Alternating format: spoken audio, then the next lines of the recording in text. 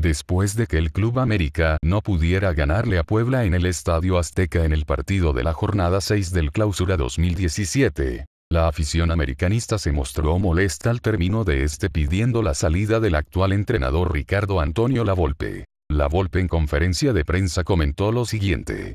Después de haber pasado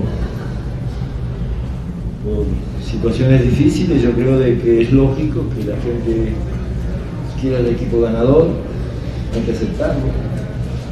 Pero bueno, mi equipo corrió, tuvimos las situaciones que teníamos que crear, se manejó bien el partido, y hay veces que no solamente con el buen manejo o el protagonismo se logran los triunfos. Como bien decís vos, quizás nos falta más precisión, diría yo.